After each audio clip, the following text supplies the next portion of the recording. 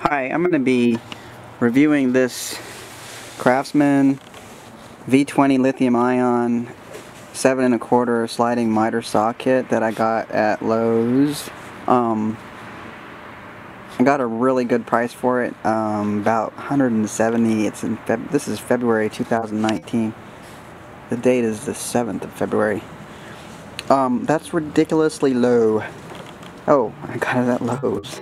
Um, anyways, I had a conversation with Steve Ramsey, and he did a review on um, miter saws, and he, anyways, um, yeah, I'm quite happy with this. I was really regretting this purchase, um, but after watching his video, I'm 100% um, happy with this buy.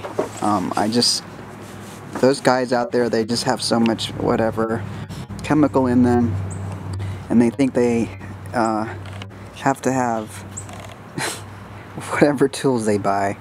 Um, just, I don't know, I'm not, I don't make, I mean, okay, I don't have a lot of resources, but this was a super good deal, and it's to do everything I possibly would want to do or need to do um, for pretty much anything I can think of. Um, and you know, I'm not going to cross limits and try to do stuff that that's really out of my scope of practice, if you will. So, anyways, um, this I'm kind of uh, disappointed. I think I got a good deal on it, but they gave me a used box, uh, a used used kit. Um, I can't keep it. I have to return it.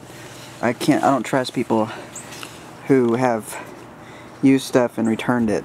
Um, you don't you just don't know what you're getting. I, I mean, I don't know. It's okay. It's probably okay, but I like to keep my boxes. So, and that's why. That's why I'm returning it. I keep my boxes, and I don't. I can't stand to see beat up boxes. Okay, so. Oh, what what is this? This is basically a seven and a half inch um, sliding miter saw. It comes with a 4.0 amp hour volt, a 20 volt battery. It, the that's the maximum rating on the on the battery. Okay, that's the maximum voltage. It's actually operating quiescent current is 18. Um, this thing weighs about 22 pounds, and it's got this awesome LED cut line.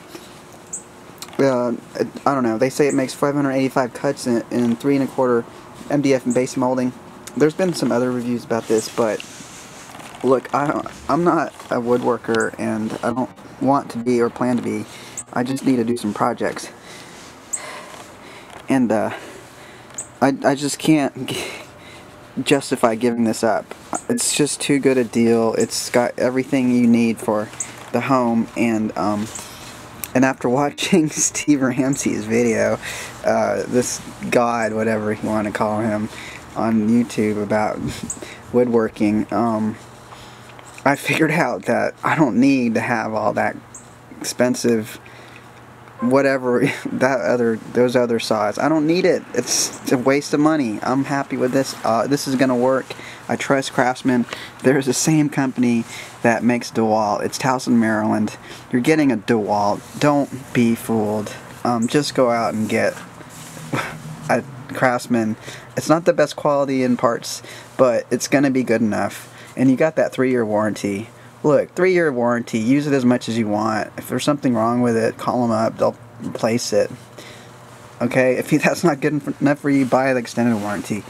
But don't be stupid and buy a DeWalt or any of those expensive uh, saws. Be safe. See you. Bye.